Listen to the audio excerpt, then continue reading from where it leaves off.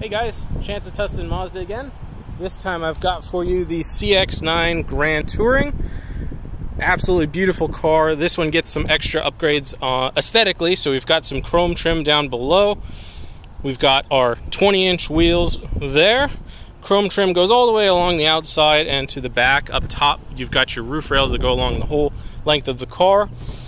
Inside here, we've got an upgraded interior. So it used to be match stitching. Now we've got the contrast stitching in here, so it just pops a little bit more, especially on things like the armrest there.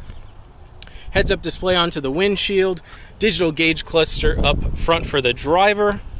Back seat here, we've got the center armrest with USB ports for charging, rear AC vents and controls right up front there. They also added in for the back a nice kick tailgate. We've had people asking about that for a little while, so you just kick your foot under there. Tailgate will open up for you. I've got one seat down and one seat up, just so you can see the difference here with the storage.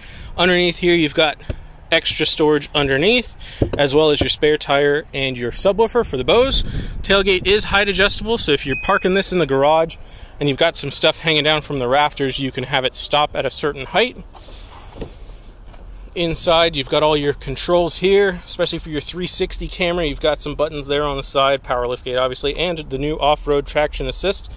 Different uh, traction control modes. So if you're going off-road on bumpy surfaces, you've got better control over the uh, power delivery. You've also got your ventilated seats and heated seat controls there.